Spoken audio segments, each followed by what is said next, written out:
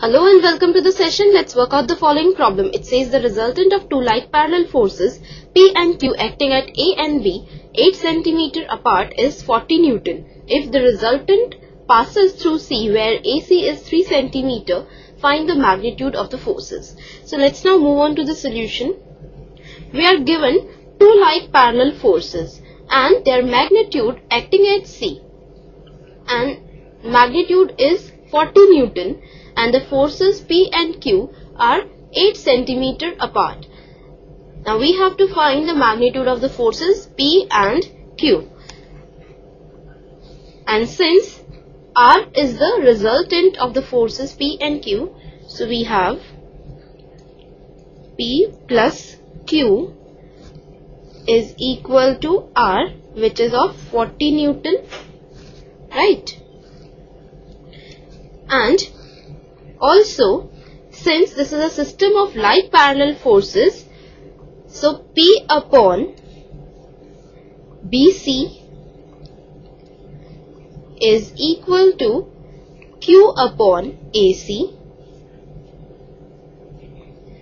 Right. Now, AC is 3 centimeter and AB is 8 centimeter. Therefore, BC is 5 centimeter.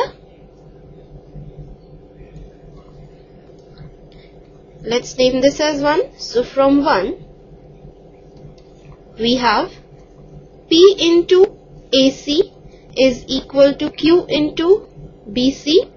Now AC is 3 centimeter. So P into 3 is equal to Q into 5. So from this we have P is equal to 5q by 3. Now, we know that p plus q is 40. So, we have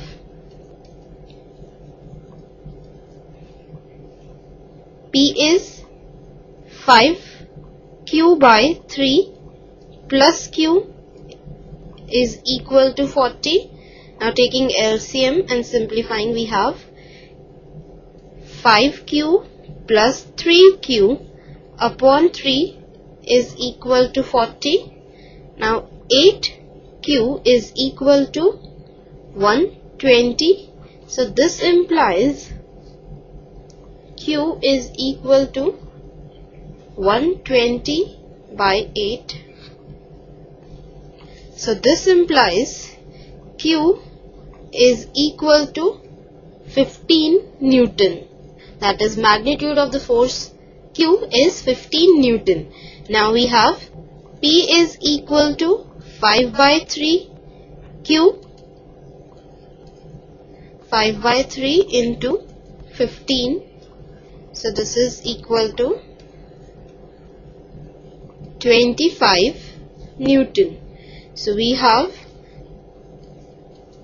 magnitude of force P is 25 Newton and magnitude of force Q is 15 Newton. So this completes the question and the session. Bye for now. Take care. Have a good day.